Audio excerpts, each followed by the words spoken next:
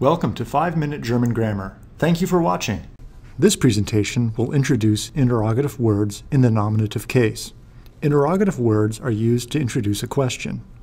Unlike simple yes-no questions, interrogative words require a more detailed response.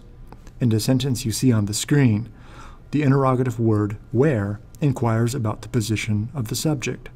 The more detailed response to the question is provided by the prepositional phrase in the library.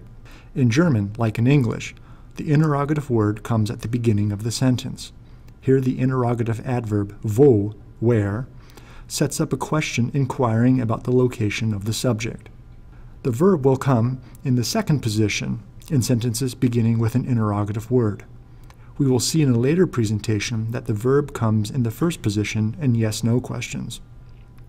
Finally, as is the case with most English interrogative words, it is useful to note that German interrogative words begin with the letter W. For this reason, they are often called W words, in German, W-Wörter. There are different types of interrogative words. Interrogative pronouns can be used to ask questions about the identity of a noun. For example, wer, who, was, what, and welch, which, are interrogative pronouns. The ending for welch are determined by the case and gender of the noun it modifies. We will look at how to add these endings in a later presentation. Wer also has different accusative, dative, and genitive forms, which we will also examine later. In the sentence you see here, wer ist das? Who is that? The interrogative pronoun wer inquires about the identity of a person. You will note that the interrogative pronoun is in the first position, the verb in the second position. Interrogative pronouns can also inquire about the quantity, number, and characteristics of a noun. Wie viel, how much, wie viele, how many, and wie groß, how tall, large. These interrogative pronouns, as you see on the screen, usually appear in compound forms. Since these pronouns appear directly before a noun, they are sometimes also called interrogative adjectives. The interrogative pronoun wie viel, how much, is usually used in conjunction with a singular noun to ask about the quantity or volume of that noun. For example, wie viel Wasser trinken Sie? How much water are they drinking? The verb technically still comes in the second position, after the compound interrogative pronoun and the noun it precedes. The interrogative pronoun wie viele, how many, is usually used in conjunction with a plural noun to ask about the number of that noun. For example, Wie viele Studenten kommen heute? How many students are coming today? Again, the verb appears in the second position. We can use any adjective following wie to create a compound interrogative pronoun. Here, for example, you see the adjective groß, tall, large, used to inquire about the height of a person. Wie groß bist du? How tall are you?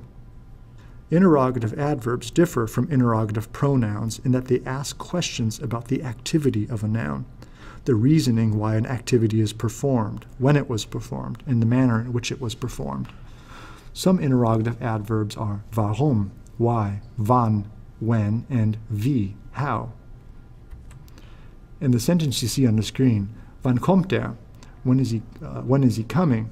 The interrogative adverb wann inquires about the time when an activity will be performed by the subject of the sentence. Interrogative adverbs also ask questions about the location of an activity and its direction. These interrogative adverbs include wo, where, wohin, where to, and woher, where from. For example, in the sentence here, wohin geht sie? Where is she going to? The interrogative adverb wohin inquires about the direction of an activity performed by the subject of the sentence. It is common colloquial practice to break wohin and woher into two parts, so that the separated adverb hin or her comes at the very end of the question. This separation does not change the meaning of the sentence. Finally, as you see here, there are several different ways of asking what is essentially why. Germans are, apparently, very inquisitive people. The five minute German grammar series is produced by David Neville, Associate Professor of German. The videos, scripts, and lecture slides are released under a Creative Commons Attribution, Non Commercial, Share Alike 4.0 International License. Don't be a square, remix and share.